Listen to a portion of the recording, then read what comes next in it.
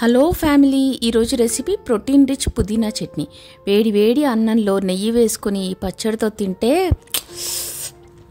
రుచి సూపర్.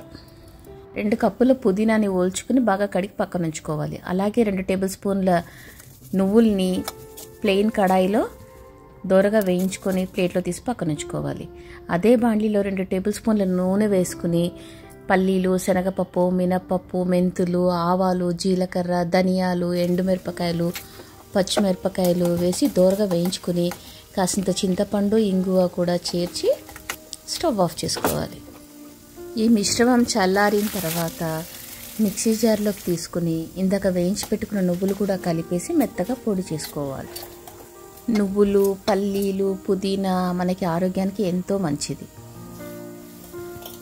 పోపు మిశ్రమము నువ్వులు కాసింత బెల్లము వేసుకుని మెత్తగా పొడి చేసుకోవాలి. ఈలోగా స్టవ్ మీద బాండ్లీ పెట్టుకుని దాంట్లో రెండు కప్పుల పుదీనా ఉప్పు పసుపు వేసి బాగా వేయించుకోవాలి. నీరు ఎగిరిపోయే వరకు వేయించుకోవాలి.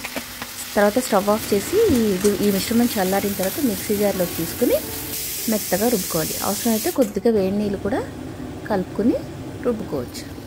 అంతే. పైనుంచి పో పెట్టుకుంటే tasty and healthy protein rich పుదీనా chutney ready thank you family thank you మీకు ఈ రెసిపీ నచ్చితే లైక్ షేర్ సబ్స్క్రైబ్ చేయండి. Thank you